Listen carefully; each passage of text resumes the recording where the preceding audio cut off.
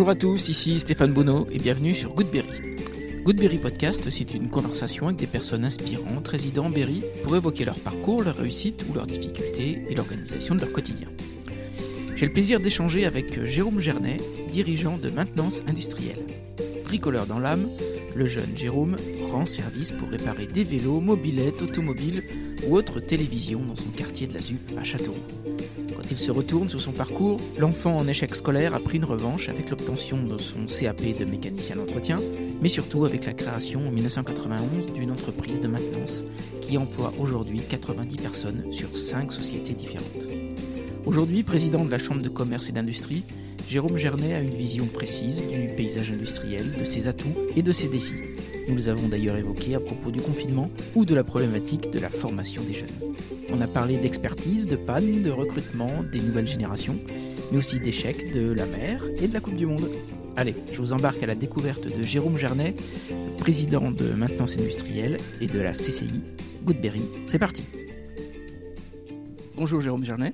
Bonjour. Euh, le podcast est centré euh, sur l'Indre et sur le Berry en tout cas. Vous êtes berrichon, vous? Oui, je suis berrichon. J'ai vécu à la ZUP de Châteauroux euh, jusqu'à l'âge de 17 ans. Et après les études ici?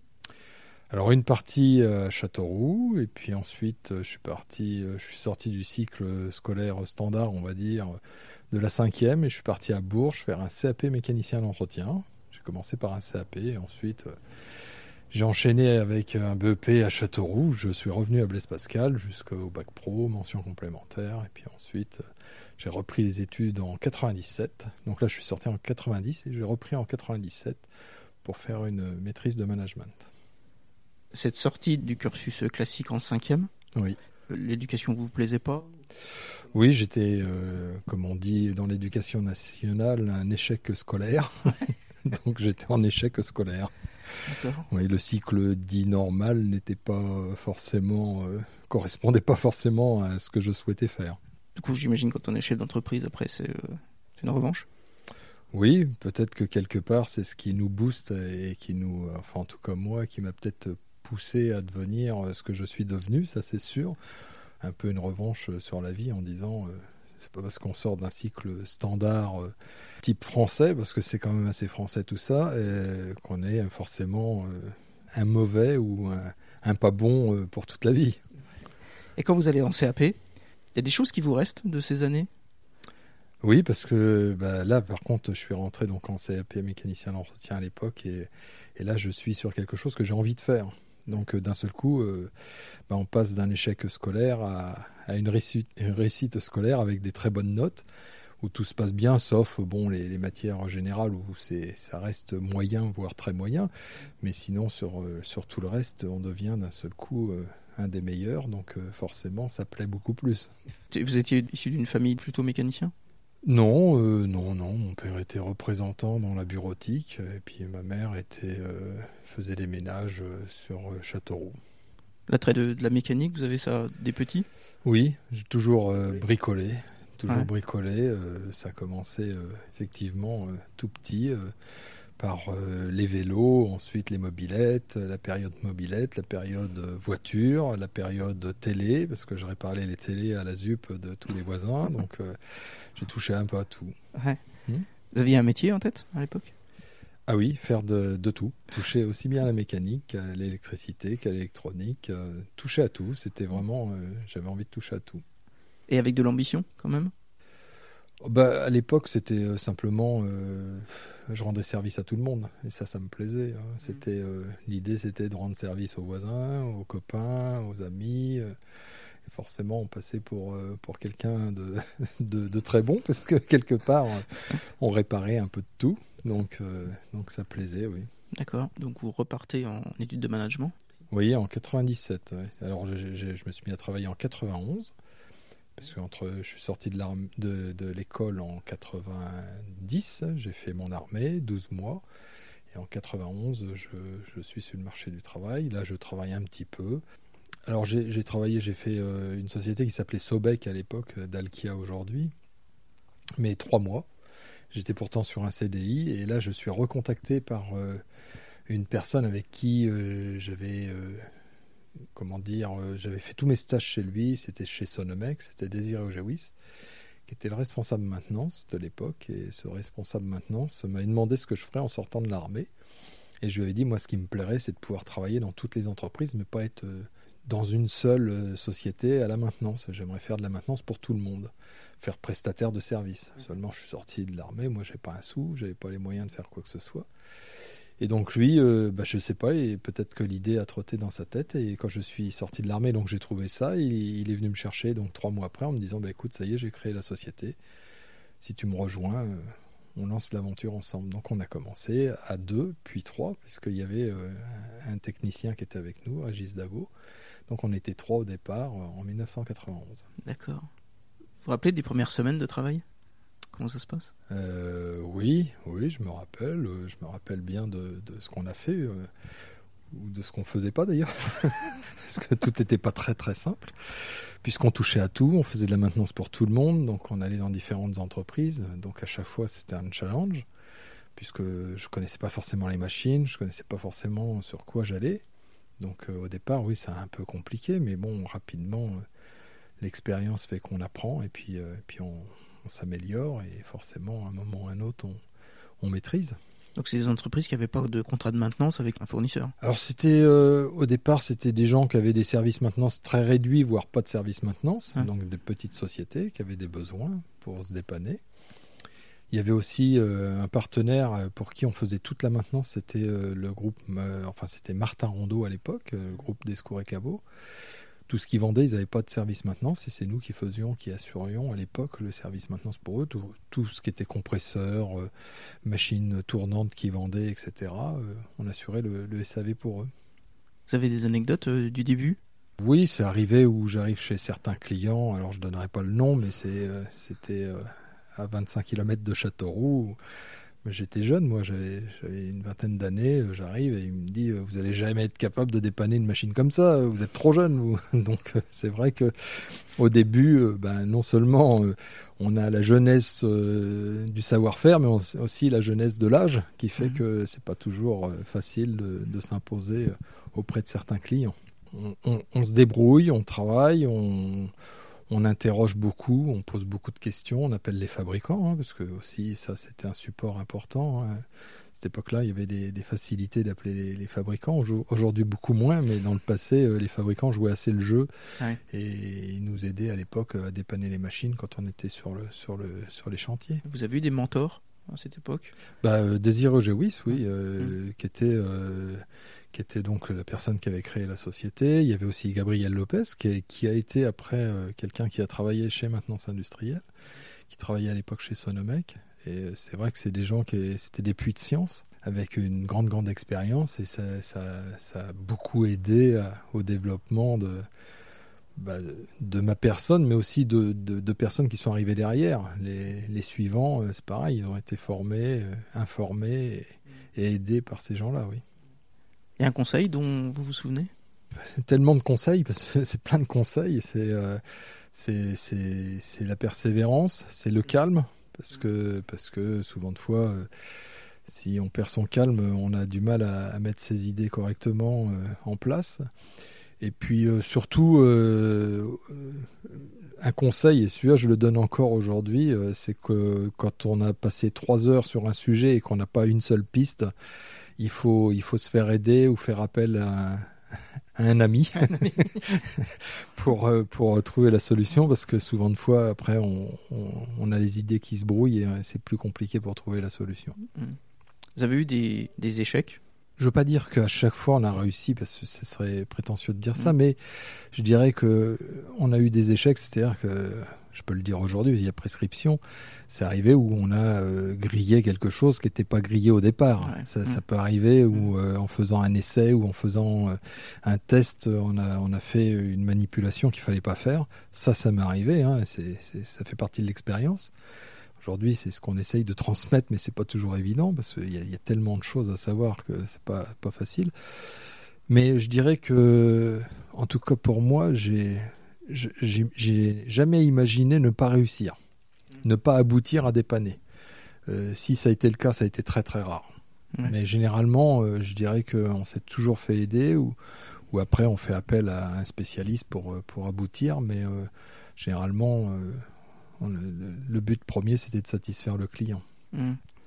Et quand on fait de la maintenance industrielle, j'imagine que c'est 24 heures sur 24, 7 jours sur 7 bah, en ce qui nous concerne, oui, aujourd'hui, euh, il y, a certaines personnes qui sont d'astreinte sur certaines. Euh, par exemple, on fait euh, tout ce qui est dépannage de robots de traite pour les vaches. Donc là, on n'a pas le choix, il faut être 24 heures sur 24, 7 jours sur 7 sur le pont pour pouvoir intervenir, parce que les vaches, elles peuvent pas attendre de se faire traire dans 3 jours. donc, donc il faut être sur le pont, oui, on a des, des métiers comme ça où on n'a pas le choix, il faut être tout le temps sur le pont, oui. J'imagine que les métiers sont extraordinairement variés. Oui, c'est très très très varié.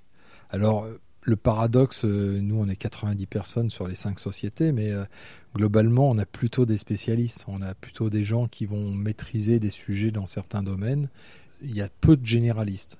Pourquoi? Parce que généraliste, c'est tellement compliqué de tout maîtriser que qu'on ne peut pas avoir beaucoup de généralistes. C'est faut se former dans plein de domaines et c'est compliqué.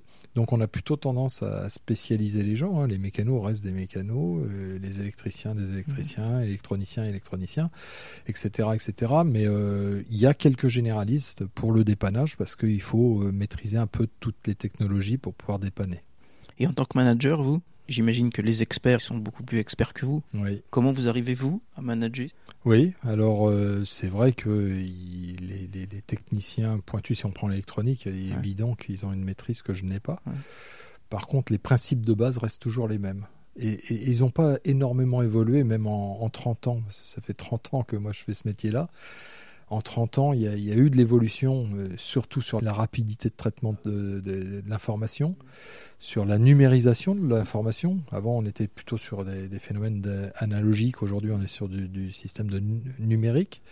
Mais globalement, le principe de base reste toujours le même. Hein. Sur les commandes numériques, euh, une boucle d'asservissement, c'est toujours la même. Il y a un moteur, un codeur et, euh, et derrière une CN. Donc le principe est toujours à peu près le même. Après, quand on rentre dans le cœur de la, de la machine, sur les cartes électroniques, etc., là, il y a une technologie qu'il faut maîtriser, c'est certain. Ah, Comment vous franchissez le pas d'être à un moment chef d'entreprise? Bah, Ça s'est fait un, peu naturellement euh, pour, pour ma part, puisque au départ, euh, bah, quand on était trois, il n'y a pas besoin de, de chef, ça se fait naturellement. Ce qu'il y a, c'est qu'il y a tellement de demandes que rapidement on embauche. Et mmh. euh, je dirais, à partir de 97, on est déjà une trentaine de personnes. Ah Et là, il faut tout de suite se structurer, parce que si on ne se structure pas, bah, c'est vite le bazar. Donc rapidement, bah, de par euh, les connaissances, bah, je me dis, moi, je vais apporter mes connaissances et je vais structurer. Et ça s'est fait naturellement. Euh, je passe à l'ordonnancement, chargé d'affaires. Et puis, euh, puis ensuite, Monsieur Joïs part en, part en retraite en 99. Et à partir de ce moment-là, je, prends, je prends les rênes de la société. Il n'y a pas eu de peur? Alors, non, parce que, parce que quelque part, on, maîtrise, on maîtrise euh, ce qu'on fait. La seule peur qu'on peut avoir, c'est de ne pas avoir de boulot le lendemain. Mais nous, on est dans un métier, alors euh, ça peut faire peur à tout le monde. C'est que aujourd'hui, c'est toujours le cas, et ça fait 30 ans que ça dure. C'est que notre visibilité, elle est à une semaine. Donc, euh, si vous préférez, euh, on vit avec ça depuis 30 ans. Donc aujourd'hui, on vit complètement bien, même euh, dans la, période Covid où on a, eu senti une baisse énorme d'activité, puisqu'on a, comme tout le monde, il y a eu le confinement, etc. Je dirais c'est quelque chose qu'on a complètement intégré. C'est quelque chose aujourd'hui où ça ne nous empêche pas de dormir. Parce que les pannes, elles ne préviennent pas. Non, elles préviennent pas. Ça, c'est sûr. La maintenance ne prévient pas. Il y a, on a quelques contrats. Les contrats et puis les, choses fixes, ça mmh. représente 25% de notre chiffre d'affaires. Tout le reste, il faut aller le chercher toute l'année. Et vous allez le chercher euh, sur l'Indre? Il y a quatre entités qui sont dans l'Indre et une qui est dans le Loiret, à Saint-Cyr-en-Val. Donc euh, il y a 20 personnes à Saint-Cyr-en-Val et le reste, les 70 autres, sont sur Châteauroux, là, sur le site de Montier-Chaume. Notre euh, zone de chalandise, euh, bah, c'est le 36, le 18 et le 45, et un peu le 41. Globalement, c'est là où on travaille le plus. Quand vous parlez de maintenance industrielle, il y a la maintenance, et puis il y a aussi la vente de machines alors on fait du, du, négoce puisqu'il y a une des sociétés qui s'appelle Équipement électrique qui vend, elle, des moteurs électriques, des variateurs et des pompes. Donc il y a une partie négoce sur cette partie-là. Et toujours sur équipement électrique, on vend aussi des bornes, des bornes électriques de recharge pour les véhicules électriques, puisque nous avons le contrat départemental du SDEI pour tout ce qui est bornes de recharge. Les 85 bornes de recharge dans le département, c'est nous qui assurons la maintenance et le SAV 24-24, 7 jours sur 7 là aussi. C'est-à-dire si quelqu'un se branche et puis qu'il ne peut pas se débrancher, il faut qu'il puisse avoir un numéro d'appel pour venir euh, le, débrancher parce qu'il faut qu'il continue sa route. Donc euh, on assure la maintenance et, l'astreinte sur ce genre de produit. Oui. D'accord. Je rebondis, vous parlez de, de Covid. Oui. Il y a deux ans, quand le président annonce le confinement, quel est votre data d'esprit? Vous êtes comment? Je dirais qu'il y a eu euh, l'annonce. Ouais. Et surtout, une journée ou deux après, l'effet euh, incroyable que les sociétés ont rapidement fermé derrière. Et ça, ça m'a, ça m'a choqué, pour être euh, mmh. honnête. Hein. Et là, même avec ma casquette de président de CCI, j'ai, poussé un cri d'alerte parce que j'ai dit euh, s'arrêter aussi violemment dans l'industrie. Je parle de l'industrie, le commerce, c'était pas pareil, mais dans l'industrie, s'arrêter aussi violemment, j'ai tout de suite dit ça va être très très très compliqué de reprendre une activité normale derrière. Et ça s'est confirmé par la suite parce qu'on a constaté rapidement que derrière ça a mis des, un temps infini avant de reprendre une marche normale. Et je dirais que même encore aujourd'hui, il y en a encore certaines qui n'ont toujours pas atteint une marche normale de, fonctionnement. Mmh.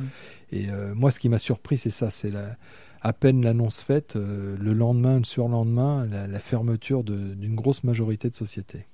Et donc, quel est votre rôle avec les équipes, vous?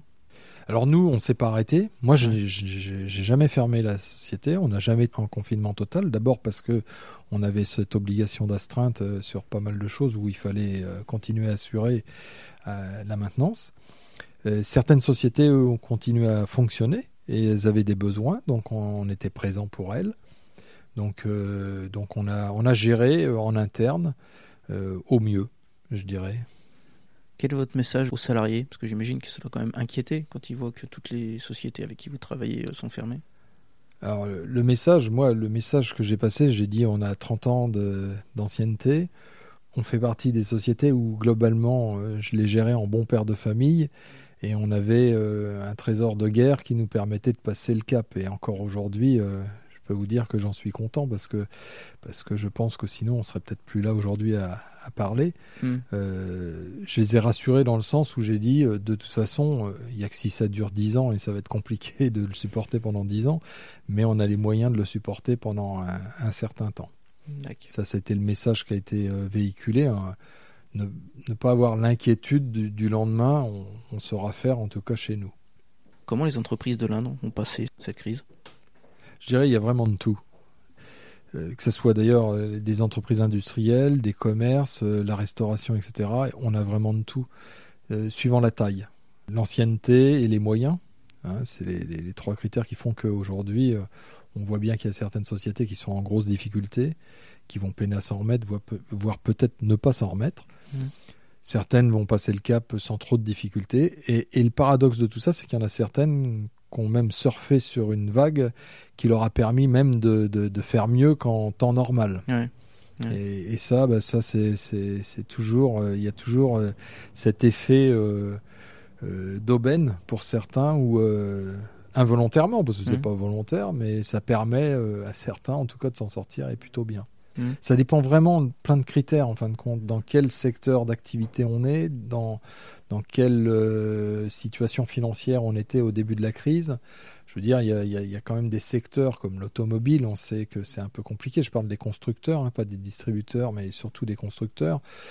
On sait que même avant crise, c'était déjà un peu compliqué. Euh, ça n'a rien arrangé euh, pour certaines sociétés. Pour revenir à la CCI, comment s'est passée votre élection?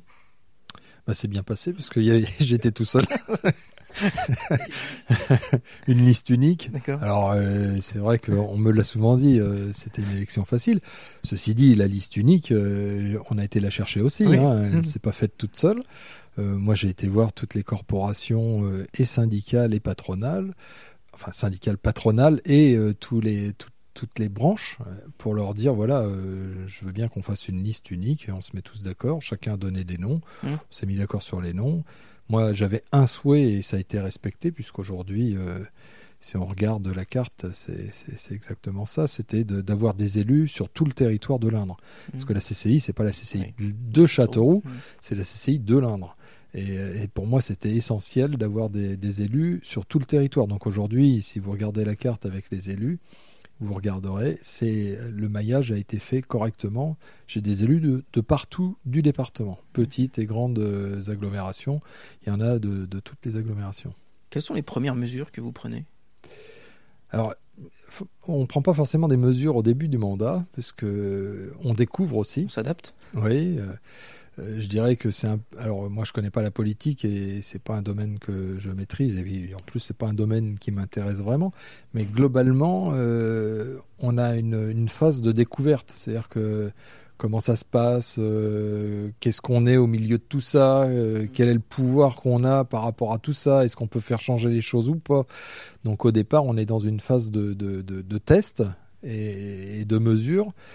Ensuite, une fois qu'on a passé cette phase-là, on, on, fait des propositions et puis on essaye d'imposer un petit peu ce qu'on propose. Mais au départ, on est vraiment dans une. Euh, je dirais, il n'a pas fallu un mandat parce qu'il ne faut pas un mandat, mais je dirais, il mm. faut bien deux années avant de bien comprendre tous les rouages, comment ça se passe, euh, qui décide, euh, qui, etc. On fait un peu de politique quand on est ceci. Je ne sais pas si on peut appeler ça de la politique. Moi, moi, ce que je fais, c'est vraiment défendre le territoire mm. et nos ressortissants.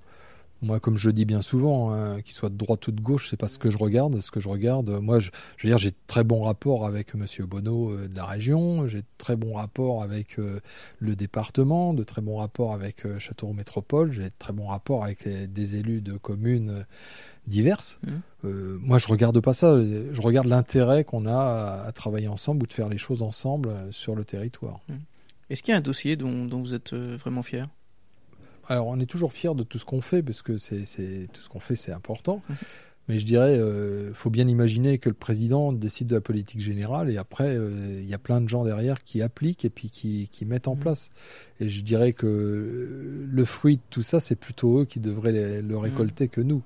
Nous, euh, bien souvent, c'est vrai qu'on a tendance à dire président de la CAC, euh, le président du département, le président de la CCI, mais globalement, euh, on n'est qu'un acteur au milieu de, toute une équipe. Donc euh, généralement, c'est le travail de tout le monde.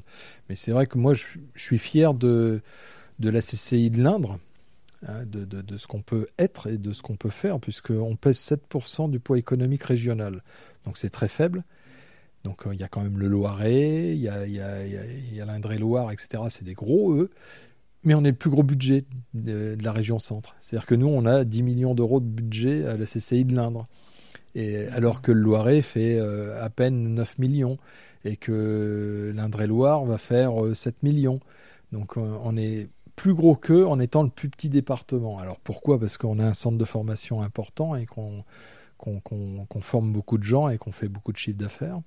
Comme quoi on est à des fois le plus petit mais le plus gros. ok. Et euh, parler de formation, c'est important d'avoir la formation ici pour que les jeunes euh, restent? Oui. Ouais. Alors, moi, je suis rentré à la CCI en 2006, donc ça fait un moment. Hein. Je suis rentré au bureau tout de suite quand je suis rentré en 2006. Et puis, Paulette Picard, à l'époque, c'était vraiment. Euh, c'était, c'était son objectif, développer la formation. Et, et c'était un très bon objectif, c'était important pour plusieurs raisons. D'abord, effectivement, pour garder nos jeunes sur notre territoire. Ça, c'est important de pouvoir garder nos jeunes sur notre territoire. Deuxièmement, c'est aussi pour avoir un vivier pour nos entreprises. Parce que la difficulté, c'est que si on n'a plus de formation, aujourd'hui, vous supprimez la CCI de l'Indre euh, en formation, on s'arrête à licence. On n'a pas de diplôme d'ingénieur, on n'a pas de diplôme de master sur Châteauroux. Il n'y a que la CCI qui les délivre. Donc, quelque part, s'il n'y a plus euh, la CCI pour ça, eh ben, on est obligé d'aller chercher à l'extérieur. La difficulté, c'est qu'on s'aperçoit que bien souvent, nos jeunes, quand ils partent de notre département pour aller se former dans d'autres départements, euh, on en perd au passage. Il y en a très très peu qui reviennent sur le territoire parce qu'ils ont découvert autre chose, ils ont découvert des, agglomérations, ils ont rencontré du monde, ils ont rencontré des, amis, etc. Et c'est plus difficile de les faire revenir sur le territoire. Alors généralement ils reviennent, mais ils reviennent quand ils sont, euh, quand ils ont passé déjà une quinzaine ou une vingtaine d'années peut-être à l'extérieur. Mais la raison première, effectivement, c'est d'avoir un vivier de personnel aussi sur le territoire, puisqu'aujourd'hui au niveau formation, on a beaucoup de jeunes qui viennent de l'extérieur sur Châteauroux, qui se forment à Châteauroux qui font euh, leur, parce que nous on fait que de l'apprentissage, qui font leur formation sur des entreprises du territoire et qui euh, bien souvent peuvent rester dans l'entreprise. Moi, j'ai un exemple chez moi. J'ai quelqu'un que, j'ai embauché qui n'était pas de, l'Indre et qui aujourd'hui est resté dans la, dans la société. c'est vraiment l'objectif. C'est l'objectif. Quels sont, d'après vous, les atouts et les problématiques des entreprises de l'Indre? Alors, les atouts, euh, si on parle toujours de l'industrie, hein, euh, les atouts, c'est qu'on a, euh, on est très diversifié dans l'Indre. Souvent de fois, c'est l'exemple que je prends. Si on prend le Cher, ils sont très orientés armement mmh. avec MBDA. Donc MBDA emploie déjà beaucoup de monde, mais énormément de sous-traitants. Beaucoup de gens dépendent d'MBDA. Ils font 80 ou 90 ou 100% de leur chiffre d'affaires avec MBDA. Donc euh, si MBDA tous, euh, forcément, il y a beaucoup de sociétés qui vont, qui vont s'enrhumer. Mmh. Nous, dans le département, la force qu'on a, c'est qu'on n'a pas de gros moteurs comme ça, mais par contre, on a plein de petites sociétés sur des, des, fabrications complètement diverses. On a de l'alimentaire, on a des verreries, on a des fonderies, on a de la mécanique générale, on a de l'usinage, on a, on a vraiment... Euh, des, sociétés complètement diverses. Mmh. D'accord. Il y a un maillage qui est fort. Oui. Et puis, euh, proportionnellement à la population, euh, on a euh, un indice fort d'industrie de, dans notre département. Mmh. C'est sûr qu'on pèse que 7% du poids économique régional, mais si on le regarde par rapport à une population de 220 000, 230 000 habitants, mmh. on a un pourcentage important d'industrie.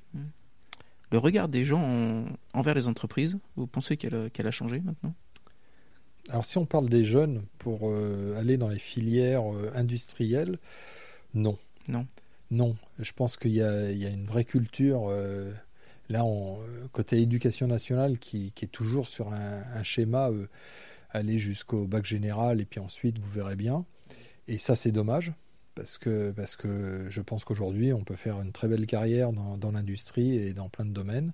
Il y a encore une certaine image de Zola, hein, des entreprises même si aujourd'hui on regarde bien, euh, globalement, euh, l'industrie 4.0, elle existe dans toutes les entreprises de l'Inde. Hein, euh, vous pouvez aller chez Eurocast, il y, a, je sais pas, une trentaine de robots. Vous allez chez Montupé, il y en a je sais pas combien. Enfin, je veux dire, l'industrie a évolué énormément. Il y a plein de métiers qui gravitent autour du, cœur de métier de l'industrie qui aujourd'hui bah, sont difficiles à pourvoir parce qu'on a tendance à pas emmener les jeunes dès le départ sur ces métiers-là. Est-ce qu'il n'y a pas un manque de communication aussi des entreprises? Oui, sûrement. Sûrement qu'on communique très mal, sûrement qu'on n'est pas très bon de ce côté-là à, vendre nos métiers. Mmh. Ça, c'est une certitude. Euh, mais on a du mal aussi à communiquer avec l'éducation nationale. Je veux dire, il y a, mmh. vraiment un manque de ce côté-là, de, maillage entre l'éducation nationale et les entreprises. Même sur les programmes techniques, si on parle des, entreprises techniques, enfin des écoles techniques, euh, Blaise Pascal ou autres, je veux dire, les programmes ne sont pas décidés euh, localement, alors que je suis certain que si on ciblait beaucoup plus le, programme technique par rapport aux entreprises locales, on aurait des jeunes qui seraient plus adaptés aux besoins en sortant de l'école. Et ça serait beaucoup plus facile de les embaucher directement. On vous a proposé, vous, d'intervenir dans ces cursus-là? Alors, on l'a, oui, puis on l'a fait. Hein. Moi, j'ai fait à travers l'UEMM, euh, l'Union de la métallurgie euh, départementale. Donc, oui, on l'a fait, mais on le fait trop peu. Je veux dire, euh, on le fait sur une classe de 25 élèves et puis une fois par an. Donc, euh, c'est très faible, l'impact est, très, très modeste. D'accord. Je reviens à la présidence de la CCI. Quand vous prenez la présidence, qu'est-ce qui vous a étonné? Qui m'a étonné le plus euh... Je sais pas. franchement, j'ai pas grand-chose qui sort plus du lot que, que, le reste. Pour une seule bonne raison, c'est que déjà, je suis au bureau depuis des années. Mmh. Euh, je connais déjà pas mal de monde. Alors moi, j'ai cette chance, on va dire, de, connaître beaucoup de gens, puisqu'à travers mon métier, euh, j'ai beaucoup de clients. Hein. J'ai 250 clients dans le département de l'Indre. Donc euh, la majorité des gens qui sont dans l'Assemblée sont des clients. Je les connais à peu près tous. Donc c'est vrai que pour moi, il n'y a pas un, changement fondamental d'attitude par rapport à tout ça. Dans les entreprises, il y a la création, mais il y a aussi la... les reprises d'entreprises. Est-ce qu'il y a une problématique euh, dans l'Indre? Dans l'Indre, certainement peut-être plus qu'ailleurs, parce qu'il y a une population vieillissante, qu'il y a beaucoup de chefs d'entreprise qui ont l'âge de départ en retraite, et qu'on n'a pas beaucoup de candidats à la reprise. Ça, c'est une certitude. C'est difficile de trouver des candidats à la reprise. Et il y a des moyens pour euh, contrebalancer ça? Alors aujourd'hui, c'est vrai qu'on a euh, plein de choses, même au niveau de la CCI, on a des, sur Internet un, support qui permet de mettre en ligne toutes les sociétés qui sont à, vendre ou à transmettre. Mais c'est vrai que c'est pas évident de matcher entre le repreneur et puis il y a une autre difficulté aussi, c'est que c'est des entreprises, bon, souvent de fois, il faut les acheter, hein, elles ne sont pas gratuites. La difficulté, c'est qu'on crée une dette dans une société qui n'en avait pas jusque-là. Il euh, faut que les banquiers puissent suivre. Et c'est pas toujours évident. Euh, alors quand c'est des petites structures, on arrive à, trouver des moyens et avec les plateformes d'initiative et puis euh, la CCI avec son fonds Sophie, il y a toujours des moyens pour aider les gens pour acquérir. mais dès qu'on atteint des projets assez importants, c'est beaucoup plus compliqué. Je voudrais qu'on parle management. Hmm? Comment vous managez votre équipe? Chez moi, c'est assez simple. Il n'y a que des chargés d'affaires. Il y a moi et les chargés d'affaires, et en dessous des chargés d'affaires, tous les techniciens. Donc on n'a pas plusieurs niveaux hiérarchiques, euh, c'est assez simple. Et chaque chargé d'affaires euh, est spécialisé dans son domaine. La métallerie, chaudronnerie, peinture, euh, l'automatisme robotique, la partie électrique, la partie mécanique, etc. C'est vous qui gérez les embauches? Oui, avec eux. C'est que ça peut être eux qui font le premier entretien, je fais le deuxième, mais ça peut être l'inverse aussi. Des fois, je fais le premier entretien, ils font le deuxième. Mais généralement, ils sont toujours impliqués dans l'embauche. Oui. Vous savez les petits trucs, vous? Alors moi, aujourd'hui, euh, quand j'embauche, euh, j'ai un critère qui est pour moi essentiel, mais c'est peut-être mon passé qui fait ça. C'est que je regarde pas forcément les diplômes que la personne est là, je regarde surtout les passions qu'il peut avoir. Parce que si, la personne est passionnée par ce qu'elle fait, déjà, euh, généralement, ça se passe très bien. Donc je regarde euh, qu'est-ce qui le passionne. Est-ce que faire de la maintenance, si ça l'emmerde, c'est ça va pas être simple à faire ça pendant toute une vie. donc, donc souvent de fois, je pose euh, quand euh, j'ai face à moi quelqu'un qui a pas forcément beaucoup de diplômes, mais qui me dit voilà, moi je suis passionné de mécanique automobile, je fais de la mécanique, je répare les voitures, etc. Je sais que ça va le faire. Vous croyez à l'intuition en recrutement? Il y en a un peu de toute façon, hein, forcément. Hein, c'est ce qu'on appelle le quantique, hein, parce que c'est l'infiniment petit, petit. qui permet à des fois de détecter des choses. Et ça, je suis convaincu qu'il y, y, a des choses qui se passent quand euh, on a un entretien. Ça passe ou ça passe pas. Euh, on détecte des choses. C'est naturel, je dirais. Il n'y a, pas, a pas une grille de lecture qui fait que ça rentre dans les cases ou pas. C'est quelque chose de plutôt naturel. Mais je pense qu'effectivement, il y a quelque chose qui se produit. D'accord. Et dans l'entreprise, est-ce que vous essayez de d'inculquer une sorte de culture d'entreprise ici on essaye toujours, oui. Euh, moi, j'ai une charte hein, qu'on a écrite, euh, ça fait très longtemps, dans les années 90, que j'ai jamais modifiée, parce que pour moi, elle est toujours d'actualité. Hein. C'est d'abord la satisfaction du client, ça c'est le premier des points, etc. Sur l'aspect sécurité, sur euh, toutes ces choses-là. Mhm. Donc il y a une dizaine de points. Euh, oui, ça c'est quelque chose qu'on essaye euh, toujours de, cultiver tout au long de, la vie de la société. Après, euh, je veux dire, il y, a, un phénomène aussi avec des générations qui arrivent. Il faut aussi savoir s'adapter aux générations nouvelles. C'est-à-dire que la façon de manager n'est pas forcément la même avec une nouvelle génération qu'avec une ancienne génération. Le langage ne sera pas le même, les attitudes ne seront pas les mêmes, le discours ne sera pas le même. Il faut, s'adapter aux personnes. Et j'aurais même tendance à dire, il euh, faut s'adapter aux 90 personnes. J'en ai 90. Il faut presque s'adapter. Chaque personne est différente. Il y en a, il faut être plutôt directif. Parce que sinon, le message passera jamais. Et puis, euh, certaines, c'est plutôt euh, collaboratif. Parce que on sait que ça sera plus facile à, fonctionner derrière. Il y a une différence que vous avez détectée, vous, par rapport aux anciennes générations? Alors, il y, a eu, il y a eu des différences. Et là, la, génération qui arrive en ce moment, là, je vois, on a embauché quatre nouveaux jeunes, on va dire, mmh. qui se situent entre 20 et 25 ans. Et eh ben, elle est vachement agréable. Moi, moi j'aime bien travailler avec eux parce que c'est cette nouvelle partie de génération qui vient d'arriver. Eux, ils regardent en bas de la, paille, la, feuille de paye, en bas à droite. Euh, si on leur dit faut bosser, ils bossent. Franchement, alors il y a tout ce phénomène où effectivement aujourd'hui il y a, peut-être une petite carence et il faut les emmener là-dessus sur la partie technique. Mmh. On voit que bon il y, a des choses, euh, même les bases ils les ont pas toujours, mais aujourd'hui on les forme. Moi je fais énormément de formation, ça c'est quelque chose aujourd'hui dans la société c'est une priorité. On forme les gens, on forme les gens et on forme les gens. Donc ça, on leur amène. Hein. Ils ont, par contre, ils ont un savoir-être, moi, que, que, j'aime bien. C'est agréable de travailler avec eux. Mais qu'on n'a pas eu sur une génération d'avant. Ça a été plutôt, on leur doit tout et puis c'est comme ça. Mais la génération qui arrive, elle est, enfin, en tout cas celle que dans les quatre derniers que j'ai embauchés, on n'est pas du tout sur ce, phénomène-là. On a compris, vous êtes un sous-traitant euh, d'entreprise. Est-ce qu'il y a une euh, diversification vers les particuliers? Alors, on fait aussi de la maintenance froid. C'est alors MFI, maintenance froid industrielle. Au départ, c'est surtout pour l'industrie. Pour compléter notre planning, bien souvent, on intervient chez quelques particuliers, donc on fait quelques particuliers.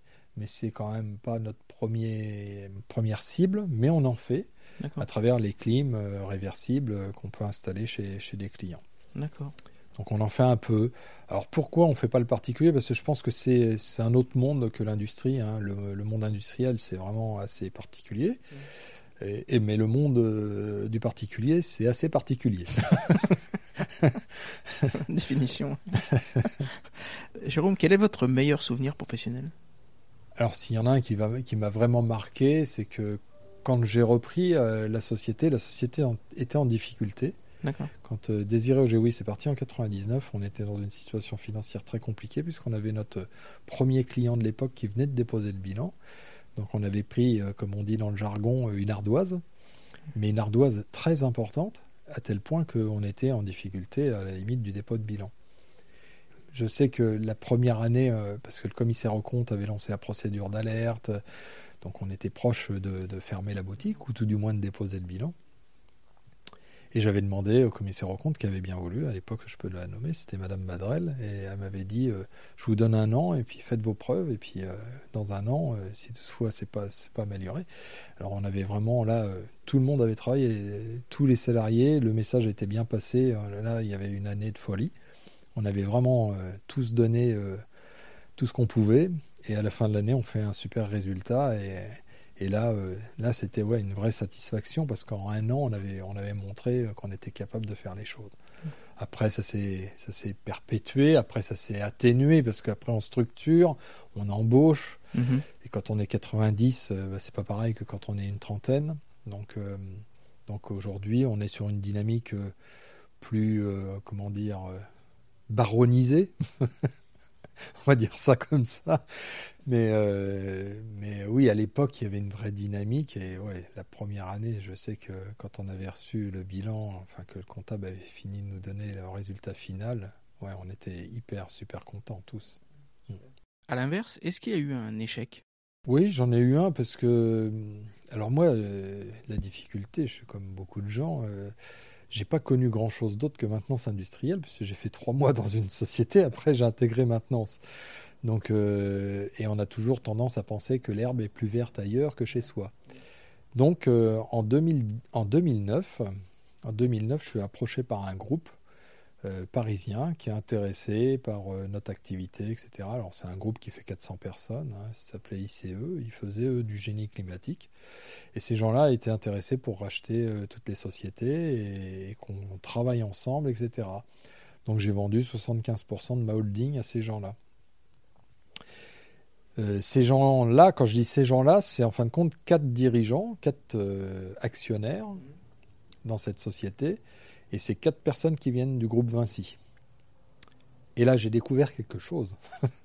c'est qu'il faut jamais travailler dans un groupe. en tout cas, pas pour moi. Où là, d'un seul coup, on est passé d'un mode euh, facile, on va dire. Hein. Quand on prend une décision, on n'a pas 50 niveaux de hiérarchie pour prendre la décision. Quand on va investir dans quelque chose, on, est, se dit euh, combien ça nous coûte et combien ça peut nous rapporter, parce qu'on n'est pas certain que ça va marcher, mais au moins on prend le risque ou on ne le prend pas. Mais on je veux dire, on ne tourne pas autour du pot pendant 15 ans, euh, on prend la décision, on le fait ou on ne le fait pas. Et là, on est rentré dans un système où il euh, fallait faire des reportings toutes les semaines. J'allais une journée par semaine à Paris pour des réunions. On faisait de la réunionnite à, à tout va on savait même plus ce qui se disait parce que le soir, il y a eu tellement de choses qui se sont dites dans la journée qu'on en avait oublié la moitié. Enfin, je veux dire, on avait atteint un point. Euh, moi, je pensais que ça allait être vraiment euh, notre, notre salut et qu'on allait exploser, euh, développer, s'améliorer, qu'ils allaient nous apporter plein de choses. On a régressé, on a diminué et ça a été un massacre. Euh, je dirais par chance, entre guillemets, parce que c'est pas beau de dire ça, mais euh, ça s'est pas bien passé pour eux. Ils ont déposé le bilan euh, trois ans après, et donc j'ai racheté ma société à la barre du tribunal de Nanterre euh, en 2012. Ouf. Ah oui. Ouais, parce que parce que parce que j'ai re- remis euh, comme on était euh, dans le passé euh, une entreprise familiale avec du contact direct et avec euh, une un fonctionnement simple. Parce que plus c'est simple, plus c'est rapide, plus on est efficace. Et les salariés se sont rendus compte euh, du changement? Oui, et ça n'a pas été apprécié par tout le monde. Je veux dire, le fait que j'intègre un groupe, la période n'a pas été forcément bien vécue par tout le monde. Autant le jour où j'ai rep- repris, bon, bah, on est revenu sur quelque chose dit normal, mais euh, le moment où on est passé par le groupe, oui, ça n'a pas été apprécié de tout le monde parce que euh, ils ont bien vu qu'en fin de compte, euh, plutôt que d'être des facilitateurs, c'était devenu, c'était devenu l'enfer. Est-ce que vous avez des passions pour déconnecter un peu du monde de l'entreprise? Alors, euh, moi, j'aime bien les voitures. J'aime beaucoup les voitures, donc euh, je retape des voitures. J'en ai retapé quatre des voitures. Donc, euh, oui, j'aime, j'aime bien. euh, Puis le bricolage, moi, je bricole beaucoup, énormément. Je suis toujours après bricoler pour moi, pour les copains, pour d'autres. J'aime bien ça, oui, tout le temps. Et j'ai remarqué que vous aviez des tableaux de voiliers dans votre bureau.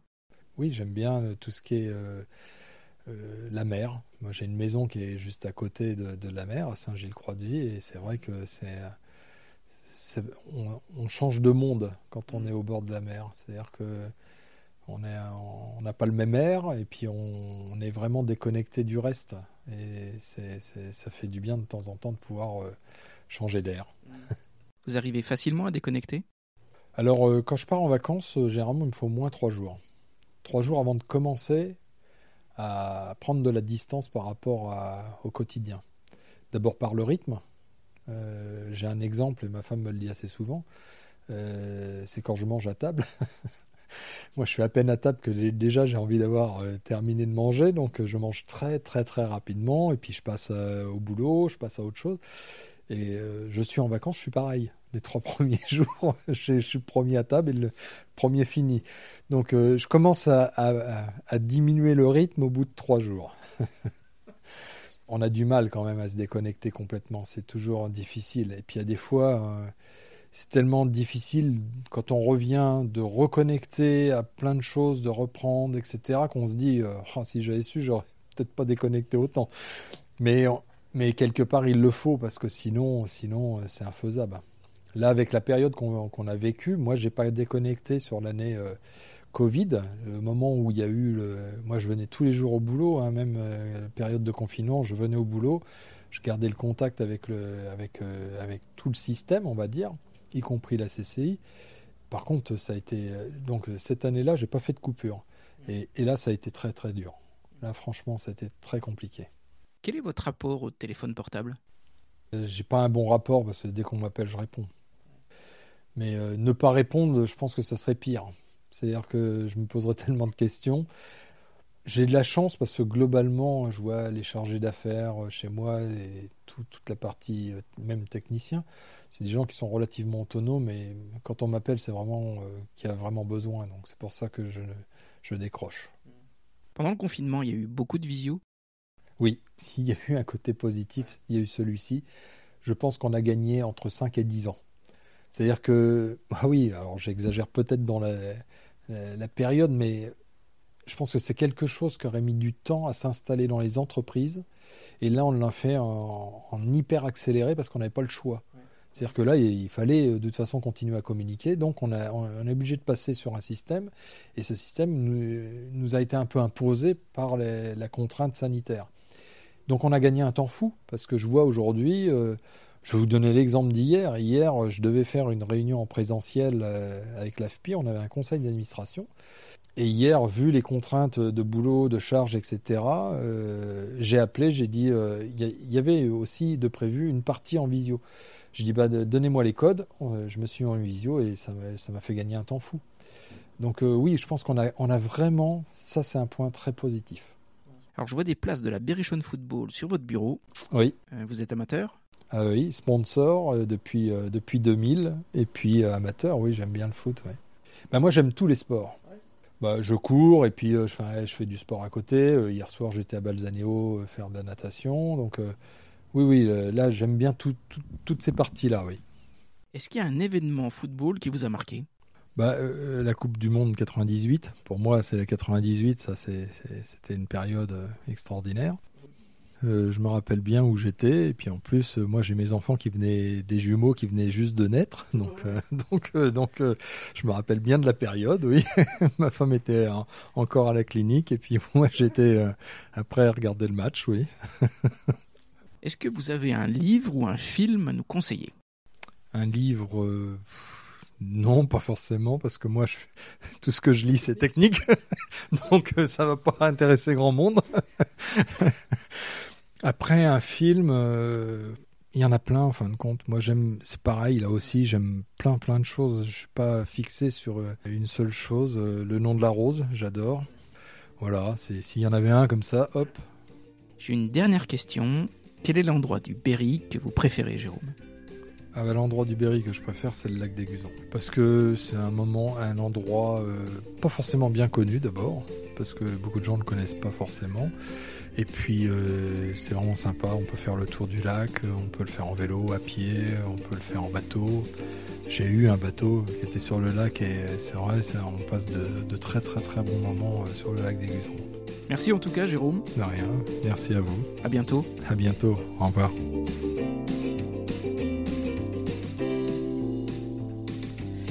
Hello, j'espère que cette conversation vous a plu. Il y a de plus en plus d'auditeurs qui téléchargent les épisodes et je vous en remercie. N'hésitez pas à vous abonner sur Apple Podcast, Specify, Deezer ou Google Podcast pour être alerté des nouveaux épisodes. J'ai beaucoup de messages d'auditeurs qui me disent écouter les épisodes en voiture sur le Bluetooth et je vous souhaite donc une bonne route en ce moment. Je vous retrouve lors d'un prochain épisode. D'ici là, portez-vous bien et inspirons-nous.